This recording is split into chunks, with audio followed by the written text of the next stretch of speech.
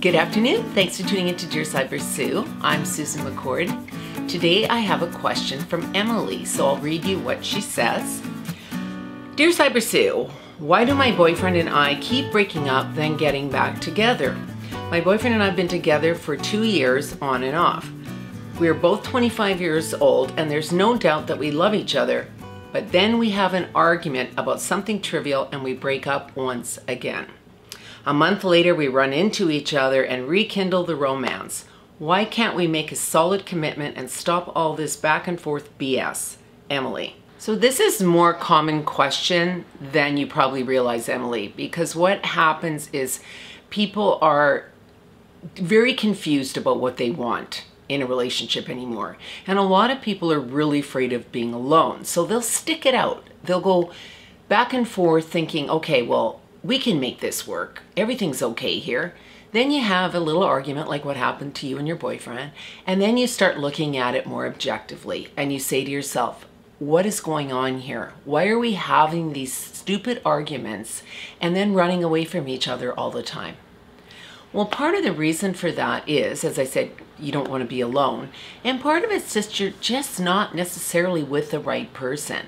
And if you've been with them for a while, like in your case, Emily, you've been with them for a few years. And so sometimes what happens is we change, we evolve, but we don't evolve at the same pace as our partner. They might want something different from us. So we try to talk ourselves into sticking around because we had such a good foundation in the first couple of years. Unfortunately, as we grow, and you're both only 25, so a lot of things change then. And while you might be ready maybe for a, more of a commitment, maybe your boyfriend is starting to get nervous about wanting you wanting to get married too early, and so he's freaking out and running away. But he cares about you. So when he's away from you, he thinks about the good things just as you think about the good things. And it brings you back together again. The problem with this is a month is not long enough to understand what is transpiring. Why is this continuing to happen? Because if you're really close to somebody and you love them, shouldn't you work things out when you're together? How is it going to work out when you're apart? Because you know every time you break up that you're you're probably going to get back together again. So is this becoming a game? Is it becoming a habit? Or do you really truly love each other? This is something you need to figure out because if it's just a matter of a comfort zone that you you're close with each other, you know each other, hey, better to be with the devil you know, the old expression. Not always. Often what can happen is that you can become addicted to this. And the reason for that is when you get back together, it's so euphoric and you know each other really well that that makeup sex is always fantastic. So maybe there's a little bit of an addiction for the excitement that you have when you get back together that maybe isn't there in your relationship when you're together, you know, most of the time. And this is something that can happen. People sort of get out of the honeymoon stage and they long for that to come back again. You have to ask yourself, is this a, a habit because it's sort of drama filled and it's exciting? Or is it real love? If you take more time the next time this happens and make yourself, remove yourself from venues or people that you see your, your boyfriend with, all those kind of things, just remove yourself away from it for a while. And then you'll have more clarity on what's really going on here.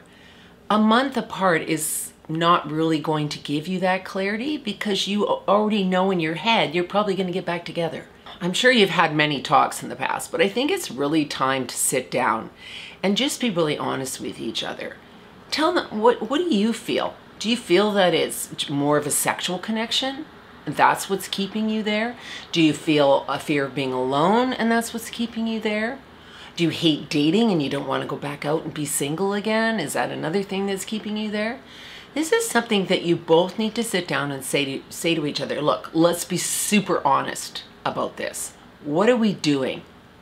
Because how do you go into a committed partnership with somebody down the road when you've broken up with them five, six, seven times? I mean, you're never going to feel secure with them. So it, how is this going to work unless you get into what the real problem is? Another thing to ask yourself, does anything really change when you get back together after you've had a breakup? Or do the same problems keep arising? Because that's another thing you can work with. I'm not saying this is doomed, but it's not going the way it should be for a natural relationship progression. It's actually being, it's very dysfunctional what you're both doing here. But if you're having the same problem, over and over again, then at least you know what it is. And maybe you can go talk to a counselor about it and figure out how to work through it because there's something that keeps you coming back together. If it's real love, it's worth looking into seeing what the, the catalyst is. What's the main concern that's going on that's causing the same problems to keep coming back and causing you to break up?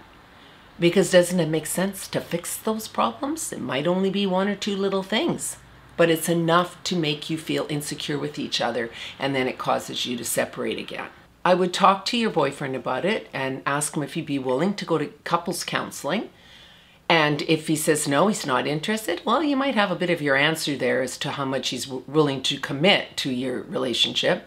But I would suggest that you go anyway because there's something here that you're allowing because you keep going back. So you want to find out what that is because you have to own your part in why this is happening and figure out why you're doing it. So it's really, really valuable for you to do this. So trying that, if you can't resolve things between you so that there isn't another breakup that happens, you're probably going to have to walk away. And that's going to be the hardest thing for you. But you've had a few opportunities to see what it's like without him. So there's that. But I would suggest this time around, if you're serious about saying, okay, I've got to stop this repeated behavior that isn't working for me, I've got to remove things out of the house that remind me of him, I've got to maybe block him off my phone for a while, maybe you can be friends at a later date, no social media contact, all those things, and remove yourself from venues that you might regularly go to with friends. Just take a good six months to take some time to really look at what's going on in your life because one month is there's not enough clarity there for you to figure it out. So please try all these things and thank you so much for writing Emily. I really appreciate it. And I really hope things work out for you. I, I know you're both 25, so you do have time to meet other people, so it's not like it's a doomed situation if it doesn't work out. Please let me know what happens. Keep me posted. Thanks so much for listening today, everyone, and please subscribe if you haven't already done so, and leave any comments below. Thanks so much.